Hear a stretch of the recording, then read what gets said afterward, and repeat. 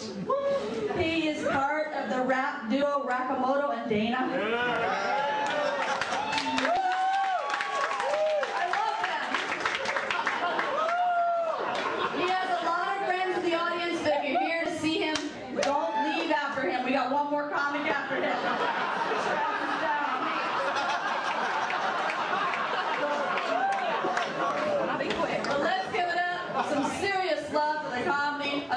him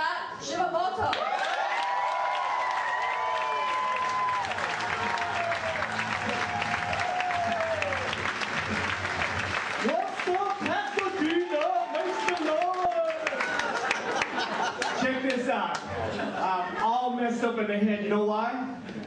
Why? Why? Why? Because I'm a black man trapped inside a nation.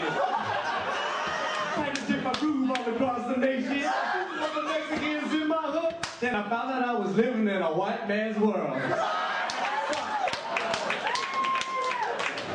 But listen, everybody, I can't get into all of that tonight because I think we've got a very limited amount of time. I needed to have Jesse Jackson negotiate my contract down here. Jesse Jackson would have been like, huh? My name is Jesse Jackson. And I would like my friend, Scott Shimamoto, to have a little bit more time. Blah, blah, blah, blah, blah, blah, blah, blah. Please hold alive. What's happening? What's happening? Okay, now this is a public service announcement to all you people who go to sushi bars. I got a lot of my Japanese friends here, but some of you white people and Mexicans, you don't know what's up there. First thing when you go to a sushi bar, you gotta know that Japanese people are very polite. So you have to know how to say their names. There's three ways to say it, okay? There's one with a Japanese businessman. You say it like this. We'll use my name because it's Japanese. First way is Scott Shimamoto. When you say it, look at my, I don't know if you can see this. You gotta put the fish lips. Shimamoto. And if you're with like some sumo wrestling announcer kind of guy, you say it like this. Scott uh, Shimo.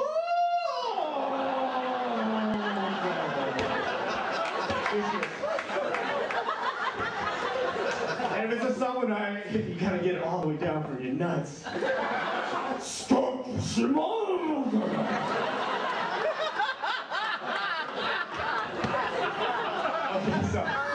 when, when you get you gotta go, you know, you get in there, you get on the sushi bar, order yourself some sake, you know, relax, and tell some jokes, you know, relax, whatever.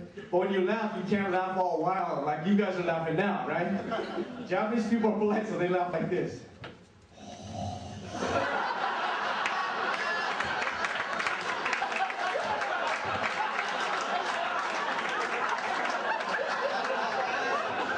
That's so, you're so funny.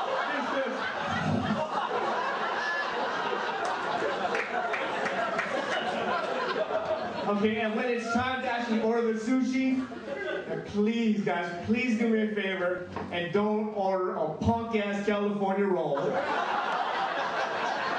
I think you're down with the kamikazes. That's weak. You gotta eat it raw. Your motto needs to be, if they cook this shit, then you must quit.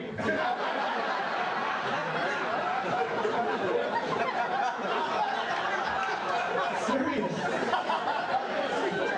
Okay, now some of you, uh, some of you people never had sushi before. You never had raw fish, whatever. You look queasy, whatever. I'm gonna give you a really good little hint. When you get ready to eat this thing, and you're about to go, you know, open your mouth. Just remember everything you've ever had in your mouth, and it ain't so bad.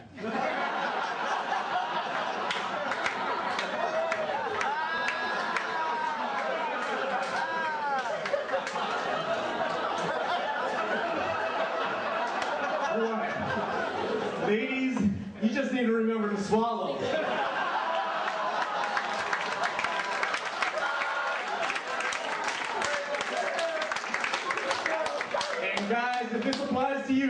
don't ask and don't tell. I don't want to know about it.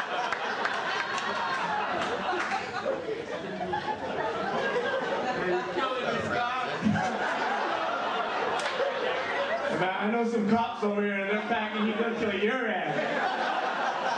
Leave me alone. Órale, pues. Hey, home. Hey, I grew up with a lot of Mexicans that said, I grew up with so many Mexicans, I didn't even know I was Japanese until the eighth grade. The vatos were like, hey, when are your eyes gonna round homie?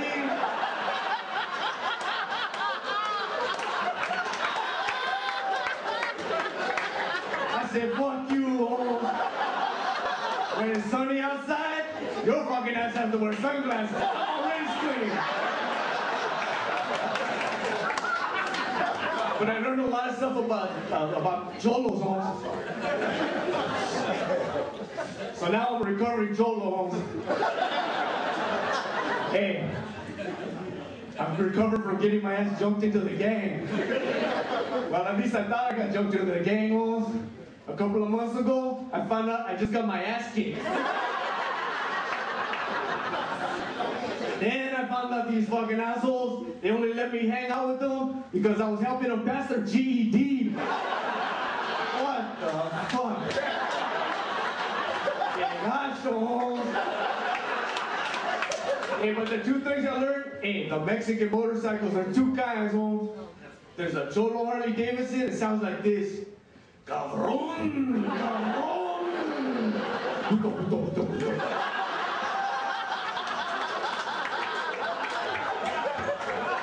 And then the Japanese racing bike goes. "Beep, cabron."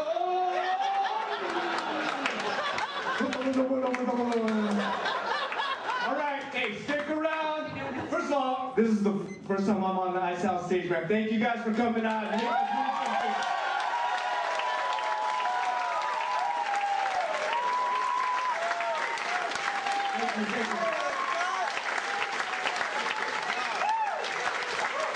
Please stick around.